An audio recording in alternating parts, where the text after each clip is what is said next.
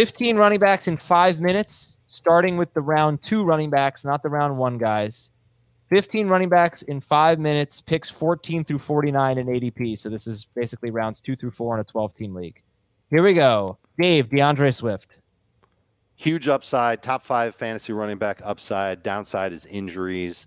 Expect him to catch a ton of passes this year. Nick Chubb. Heath. Really worried Jacoby Brissett's going to have the same impact on Nick Chubb and Kareem Hunt that he did on Marlon Mack and Nyheim Hines. Would not Okay, take I'm him as a top 12 running back. Oh, okay. Would you take him as a, like a top 15 running back? Where I've do you have Nick Chubb? 16th in full PPR. in a more optimistic picture picture the browns running backs have felt to me a little bit quarterback proof what do you think Baker Mayfield, even last year, was better than Jacoby Brissett is. yeah but they were great even when baker mayfield didn't play and those quarterbacks were terrible like i said they didn't throw for 200 yards in any of those three games They they had they played three games without Baker Mayfield last year. They were awesome in one, they were bad in one, and then the other was Week 18 when they were really really good, but it was the Bengals when they weren't playing for anything. Yeah. So I don't Um, know. well but they weren't bad in that in that denver game i He mean had denver had 24 carries for 89 yards. Yeah, he struggled a little bit, but he had 24 carries. Most weeks, if you give Nick Chubb 24 carries, Well, Kareem Hunt playing- wasn't there. That is true, but they they ran the ball a lot. The running back. I think they're going to run the ball a lot. I don't know that they're going to score that many touchdowns or get that many targets. All right. Uh, next up is Alvin Kamara, Dave. Bounce back year in terms of passing game work. Uh, was, had a career year as far as a rushing, as far as rushing goes for him. Looks like he's going to play 17 games. He is still worth a first round pick. Looks like he's not going to be suspended, is what you're saying. Correct. Uh, that's Alvin Kamara. Let's go to Javonte Williams, Heath. I've got him in my top 12, and I'm probably going to move Barkley ahead of him. The drumbeat remains that he and Melvin Gordon are going to split closer than 60 40.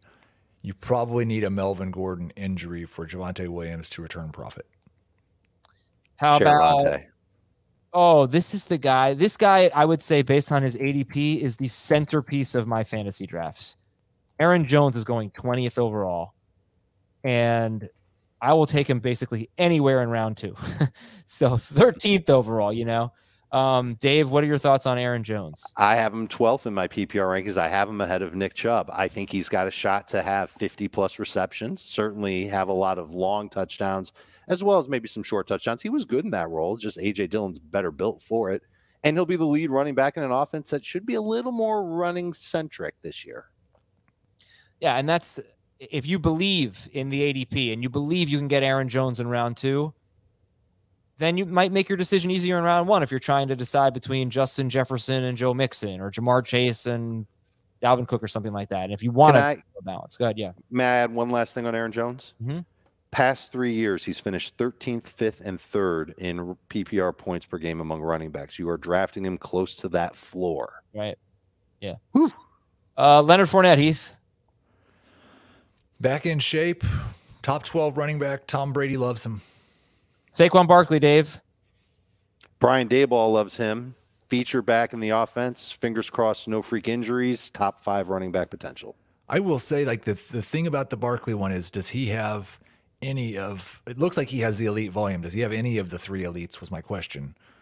Um, Elite volume and elite talent. I think he still has elite talent.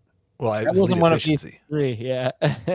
Yeah, so is that the efficiency, Dave? You're going with? He's he'll be elite. I think he can be. Can I say elite efficiency? I don't know. I don't know if he can be. He can be better than he's been, but I don't know if he can be elite in terms of efficiency anymore. But the talent is really good, and I think the Giants are going to lean on it quite a bit. I do think it's fair. He's- if we're he's going been to a top 12 running J.K. back for me Dobbins for a is the same running back that we might ask if Saquon Barkley is the same running back.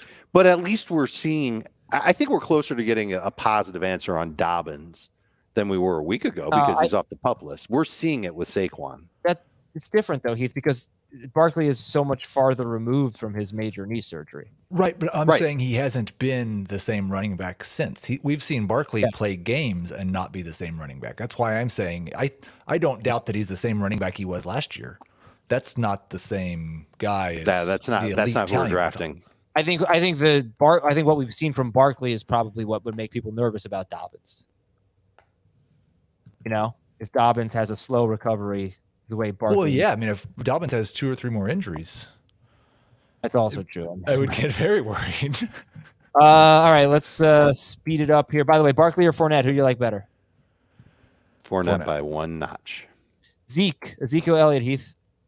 Man, there's underrated upside, but if he gets dinged again or if Jerry Jones loses his say, then it could be Tony Pollard's job. Um, but man, I, I you talk about a guy who could be top five. Zeke's it. James Conner, Dave. Jerry Jones losing his say. That's a good one. Uh, did he die? James Conner has injury downside. And Cliff Kingsbury on Sirius XM NFL radio said that they need to kind of monitor it. I'll send the quote out today. But otherwise, ginormous upside. We saw it last year. When he's healthy, he can be a feature back in, in a really good offense. This is one of those running backs that you can look at in round three and say, I'll take him. David Montgomery, Heath. Man, you're about underrated. Um, we'll see how much he has to share with Khalil Herbert, but feels pretty safe to me as a high end number two running back. And if this offense could be average, he could be top 10. You could get him in round four. He's a late round three. I got him in round five in a draft last night. That's wild. Uh, you can't get him around five. You can get him around four. I just did. you can't do that again. Cam Akers is uh is actually in the league that you took two running backs in the first two rounds. What Rasball? Yep. Yeah, I know they fall. Those running backs fall. Um, I'll skip Cam Akers. We talked about him. Oh, Antonio Gibson. I'll skip as well. Josh Jacobs, Dave. He's going to be part of a committee. It's going to be frustrating. We don't know how much the coach truly loves him. Spoiler, he doesn't. Could end up being an okay number two fantasy running back, but he's going to make you take a Tums at some point during the year. And Elijah Mitchell, Heath. Another guy with upside that we're just kind of discounting because of what his coach has done in the past and the fact they just drafted another running back. If Elijah Mitchell can stay healthy, he could be a top 12 running back. He might not start week one. I have Gibson. I think he starts week one. I feel pretty good about him starting week one. I've got Gibson, Jacobs, Mitchell back to back to back in my running back rankings. And I'm telling you, sometimes I feel like I could just close my eyes and like pick any one of them out of a bag and uh, I'd feel cool with him being first among those three. And do you have but, Dillon ahead of them? Uh, no, they're he's right behind them.